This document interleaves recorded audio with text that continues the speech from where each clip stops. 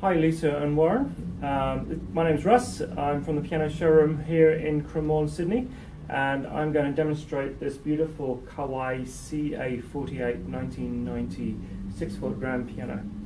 First, um, I'm just going to play um, two parts of the uh, Chopin Fantasy Impromptu, and um, um, and I've also I'm also recording it on some high quality high quality digital recorders, so you can have an audio um, uh, of it uh, separately where you can really hear the quality of the sound as well.